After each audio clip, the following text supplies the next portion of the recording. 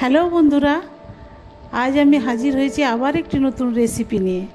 জানতে হলে পুরো ভিডিওটি দেখতে থাকুন।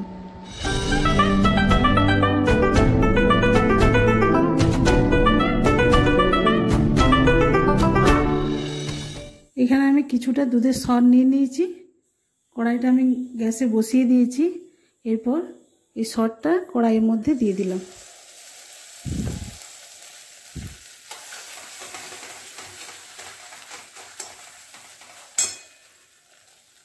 দিয়ে দিচ্ছি পরিমাণ মতো চিনি।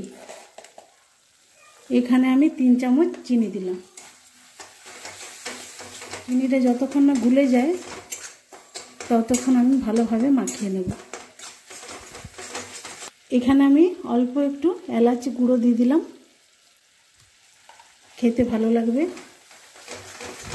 দিয়ে দিচ্ছি এর মধ্যে অল্প একটু আমুল দুধ। পুরটা আমার রেডি হয়ে গেছে। এরপর নামিয়ে নিচ্ছি।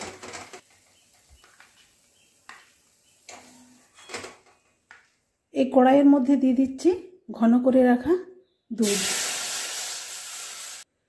এক চিমটে এলাচের গুঁড়ো।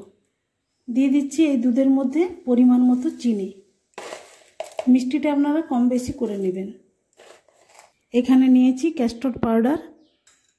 এর মধ্যে ঠান্ডা দুধ আমি দিয়ে ভালোভাবে গুলে নিচ্ছি।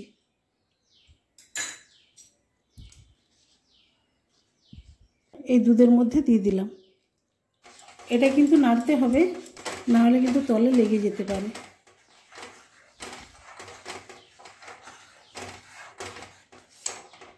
তৈরি হয়ে গেছে। আমি এখানে কয়েকটা পিস পাউরুটি নিয়ে নিয়েছি। এগুলো আমি এবারে সেভ করে কেটে নিচ্ছি।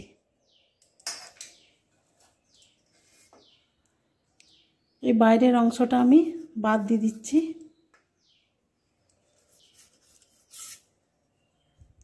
এইভাবে কেটে নিতে হবে। একই রকমভাবে সবগুলো আমি কেটে নিচ্ছি। এরপর এই পাউরুটির উপরে অল্প অল্প একটু দুধ দিয়ে দিচ্ছি। এরপর এই যে পুরটা যে আমি করে রেখেছিলাম, এই পুরটা আমি চারিদিকে ছড়িয়ে ছড়িয়ে দিয়ে দিচ্ছি। এরপর এটা চারিদিকটা আমি দিয়ে দিয়েছি, এরপর এর উপরে আরেকটা আমি পাউরুটির পিস দিয়ে দিলাম।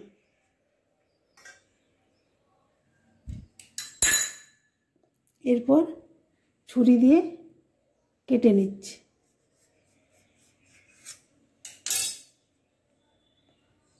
এইভাবে। সবগুলো একইভাবে করে নিয়েছি। এরপর এটা নর্মাল দুধের মধ্যে আমি এগুলোকে ডুবিয়ে আবার রেখে দিচ্ছি।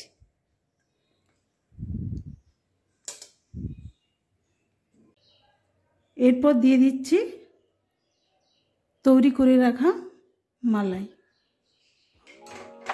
চারিদিকটা ভালোভাবে ছড়িয়ে দিচ্ছি।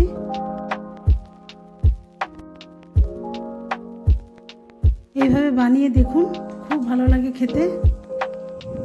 এখানে দুটো কাজু বাদাম আমি তেল দিয়ে ভেজে গুঁড়ো করে নিয়েছি। আর এখানে নিয়েছি দুটো চেরি।